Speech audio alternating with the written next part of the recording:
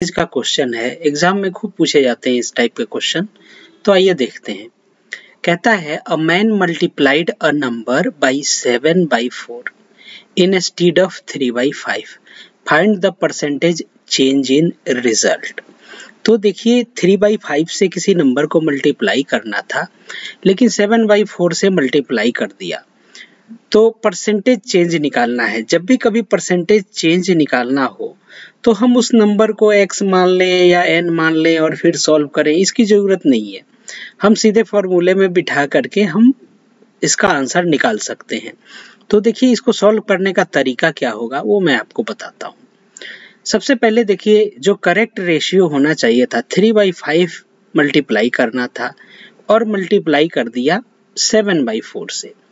तो यहाँ पर हम क्या करेंगे सॉल्व करने के लिए, ये है हमारा फ्रैक्शन में है। तो हम क्या करेंगे? इसका हम फाइव और फोर का एलसीएम ले लें। इससे होगा क्या कि ये डिनोमिनेटर की जो संख्या फाइव है या फोर है, वो कैंसिल आउट हो जाएगी।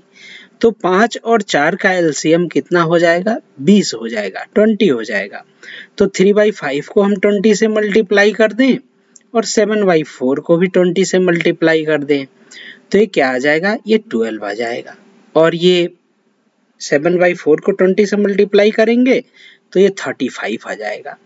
तो देखिए करेक्ट रेश करेक्ट तो होना चाहिए था ट्वेल्व लेकिन सेवन बाई फोर से मल्टीप्लाई किया, गलत रेशियो से मल्टीप्लाई किया तो आ रहा है थर्टी फाइव यानी कि कितने का चेंज आ रहा है? Thirty five minus twelve thirty five minus twelve यानी ट्वेंटी थ्री यूनिट का चेंज आ रहा है। लेकिन ये यूनिट क्या है? इंक्रीज है। इंक्रीज हुआ है जो गलत मल्टीप्लीकेशन के कारण इतना यूनिट इंक्रीज हुआ है। तो परसेंटेज कैसे निकलेगा? परसेंटेज चेंज या increase in result due to wrong multiplication क्या होगा? ये जो चेंज है, तेईस कितने पे निकालना है? तो ओरिजिनल वाले पे हम निकालेंगे। ओरिजिनल वाला क्या था? करेक्ट जो रेशियो वो ट्वेल्व था। तो डिनोमिनेटर में वो ट्वेल्व होगा मल्टीप्लाइड बाई हंड्रेड कितना आ रहा है? One ninety one point six percent कौन सा ऑप्शन करेक्ट होगा? 192 ये अप्रोक्सीमेट वैल्यू यहाँ पे आप देखेंगे तो ये ए ऑप्शन इज़ करेक्ट तो इस प्रकार से हम निकालते हैं। हम ऐसे भी निकाल सकते थे, जैसे ही ये परसेंटेज चेंज निकालना है तो seven by four minus three by five upon three by five multiplied by hundred ऐसे करके निकालते लेकिन थोड़ा ये कैलकुलेशन लेंदी हो जाता।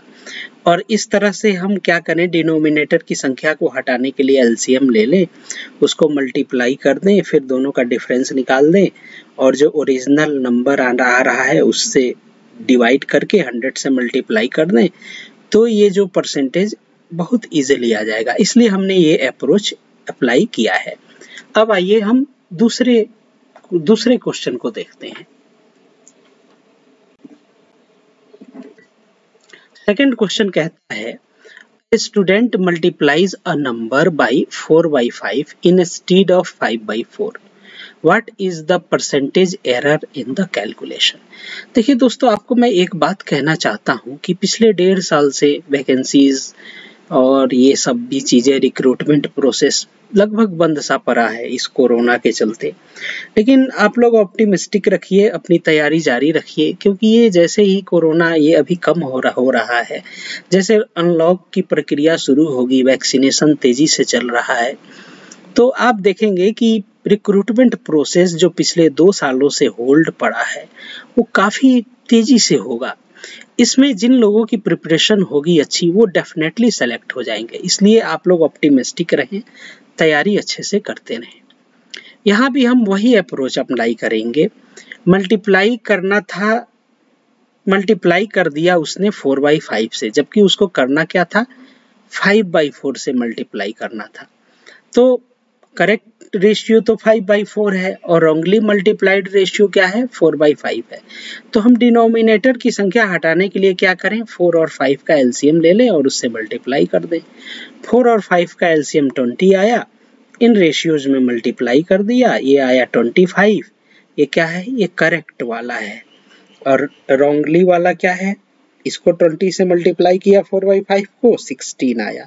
तो डिफरेंस कितना आया?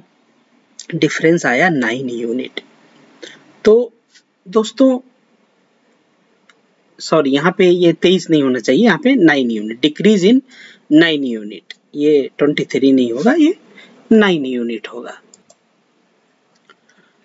तो ये क्या होगा?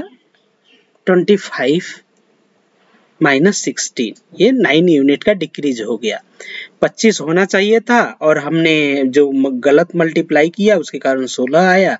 तो decrease in decrease in units कितने हैं? Nine units. तो परसेंटेज क्या हो जाएगा? नाइन। अपन ओरिजिनली होना क्या चाहिए था? Correct twenty five multiplied by hundred ये आएगा थर्टी सिक्स तो हमारा आंसर क्या होगा? थर्टी सिक्स परसेंट होगा। तो इस प्रकार के क्वेश्चन को हम ऐसे ही करते हैं। ये ज़्यादा बेटर अप्रोच है। आप ऐसे भी कर सकते हैं। Five five by four minus four by five upon five by four multiplied by hundred और फिर उससे क्या करें? उससे भी आप परसेंटेज निकाल सकते हैं। लेकिन कभी कभी कैलकुलेशन लेंदी हो जाते हैं। इसलिए हमें एलसीएम अप्रोच यूज़ करते हैं। इससे क्या है? डिजिट्स में कन्वर्ट हो जाता है। फ्रैक्शन हट जाता है। इससे ये फ्रैक्शन हट जाएगा, ये इंटीजर के फॉर्म में नंबर के फॉर्म में आ जाएगा और उससे क्या है, बहुत आसानी से परसेंटेज निकल आएगा। थैंक यू आप हमारे चैनल राघव मैथ्स को सब्सक्राइब करें। Thank you very much